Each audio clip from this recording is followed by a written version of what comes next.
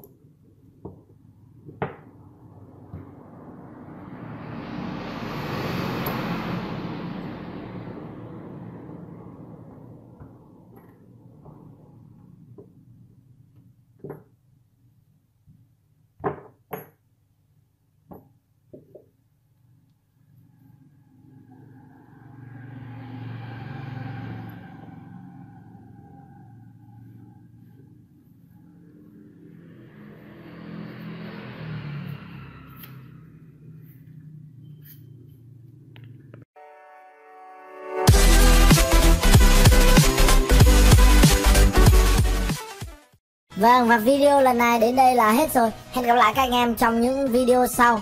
Các anh em cũng đừng quên để lại một like, một comment góp ý Và hơn hết là ấn nút subscribe kênh và bật thông báo để nhận được video mới nhất. Xin chào và hẹn gặp lại các anh em trong những video sau.